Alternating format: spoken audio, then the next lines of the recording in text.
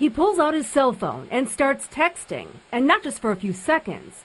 For six minutes leading up to the crash, Perez was looking down. And when he finally focuses on the road, it's way too late.